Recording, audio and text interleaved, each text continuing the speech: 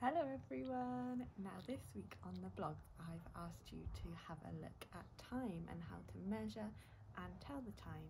I hope you've already learnt the days of the week and the months of the year and I've put a little link to a song on the blogs that you might like to listen to to help you remember it. But I thought I would do a video to tell you a little bit about how to tell the time.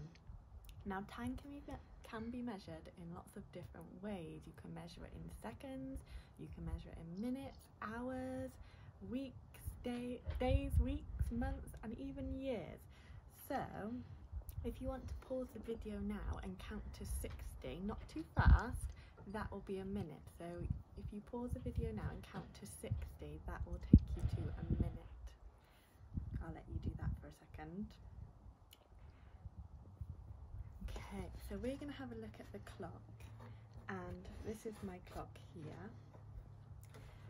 And in our clock there are 60 minutes. So there's 60 seconds in a minute and there's 60 minutes in an hour. And we've got 60 minutes around our clock. You can see them by these little blue lines here going round.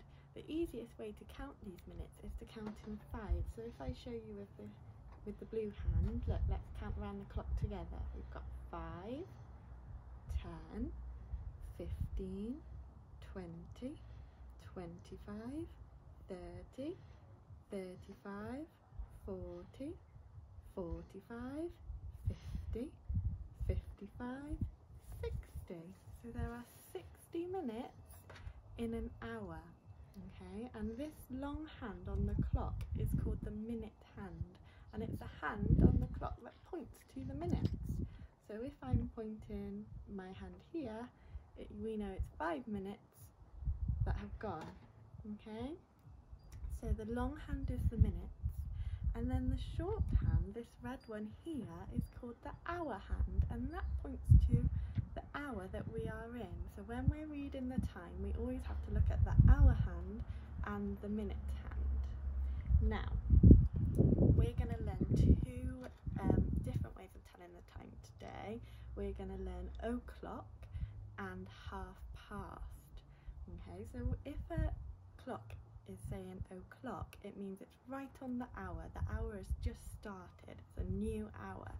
So if I look at this time on my clock here, the minute hand is pointing all the way to the start of the clock at the top of the clock and that means that it is o'clock. So every time you see the minute hand pointing up, it means it's o'clock. It's right on the 12. Now to find out what o'clock it is, we have to look at the hour hand, which is this red one. Can you remember? So the red one is pointing to what number? It's the 8. So we say this time as 8 o'clock. 8 o'clock. Might be the time that you wake up or it might be the time that you're having your breakfast before you come to school. 8 o'clock.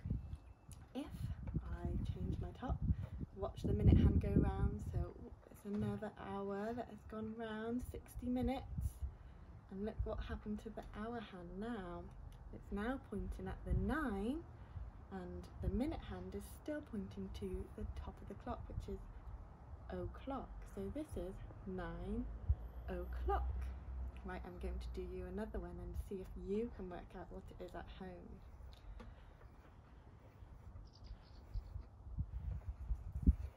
Okay, I wonder if you can work out what this time is. I'll give you a minute. That's right, it is 11 o'clock. So every time that the minute hand is pointing to the top of the clock, to number 12, we say o'clock. This one is one o'clock. This might be the time that you have your lunch. Okay, let's have a look at half past now.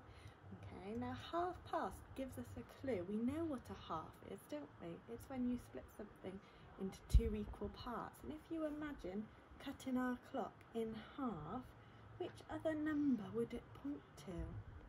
Ah, so number six. So when our minute hand is pointing to the 12, it's o'clock. And when that minute hand goes round to the number six, we call it half past. Now I'm going to do that again and I want you to look at the red hand this time as I move. So we've said that's one o'clock. Now look at the red hand as I move the clock round to half past. Ah. So can you see the red hand, the hour hand, is not right on the one anymore, but it's not right on the two either. It's halfway between the one and the two. It's halfway between one o'clock and two o'clock. So we call it half past one because it's halfway past one o'clock. Half past one. Right, let's see if you can work out the next time.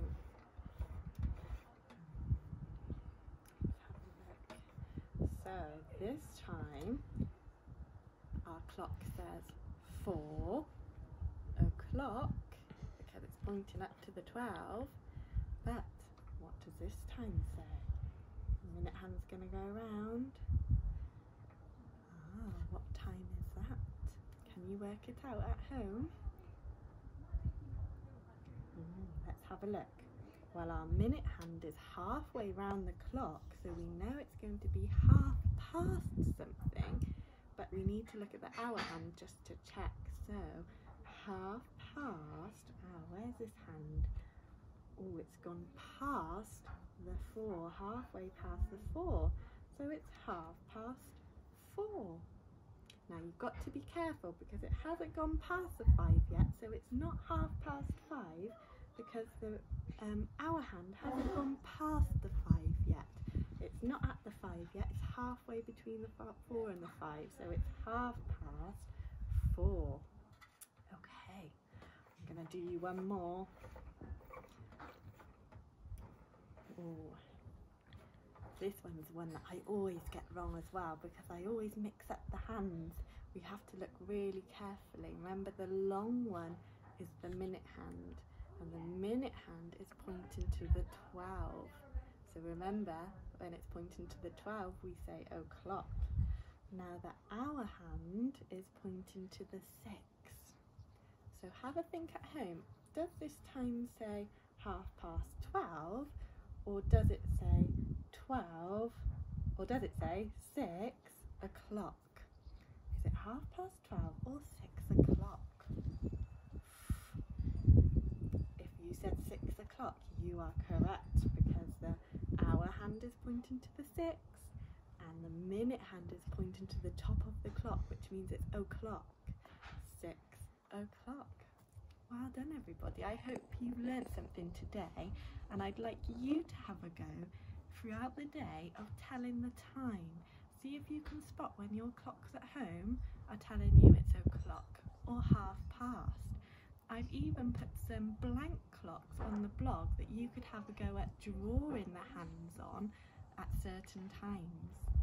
Okay, so that's your job this week. I look forward to seeing any pictures you want to post on the Facebook Wow post or on the blog, I'd love to see them. Thanks for listening. See you soon. Bye.